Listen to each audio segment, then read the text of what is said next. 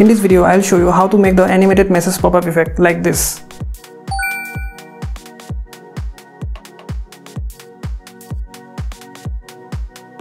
Here I have used HitFilm Express, so let's begin.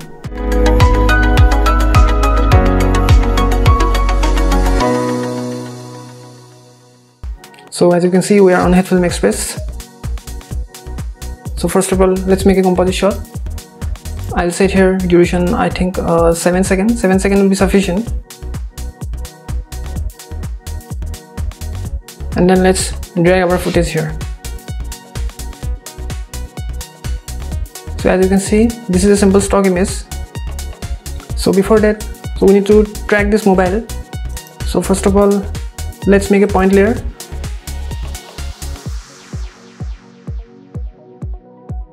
and apply the tracking here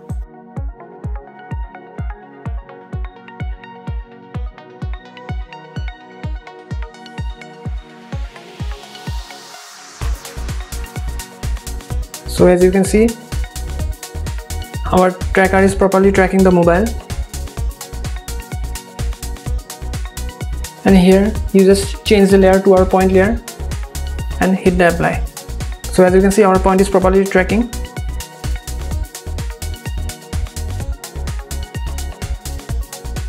Now our next step is to make the message bubble. So how to do that? So first of all let's make an another composite shot let's rename it as a say a message pop up.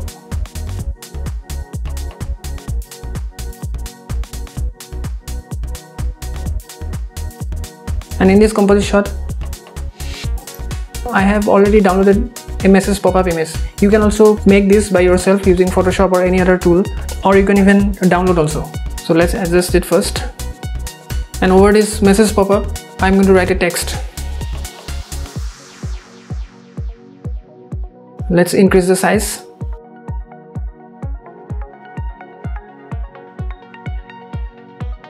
Now in this message box we have to make the pop-up effect. So how to do that? So then go to the uh, message box image and here you should apply the keyframe.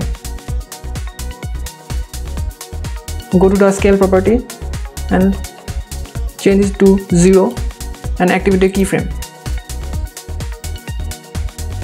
For now let's disable this text layer. And after a few frames you just raise this keyframe up to say 1110 and after a few frames just change it to 100 so that you can have a bounce effect let's select all the keyframes and activate the manual bezier so that your animation becomes smooth. Now you activate the text layer and make it parent to the bubble image so that your text can also animate with the message bubble. So as you can see both the image and the text are popping up. so your next step is to drag this composite shot to our main footage so this is the composite shot of the message box. And now I'm going to drag here. Let's reduce the scale. Now here I'm going to make it three dimensional so that it can align with the edges of the mobile. So let's make it 3d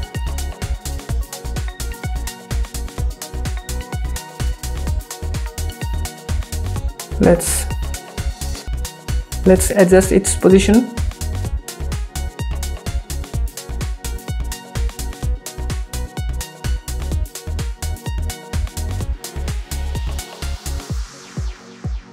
So it's done.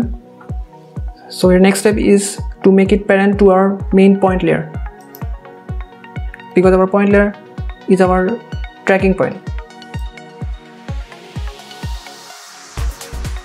Now as you can see so our message box is tracking the mobile simultaneously.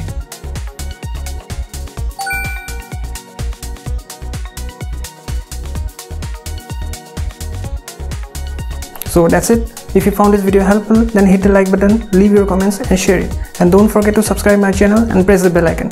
I'll see you in the next video.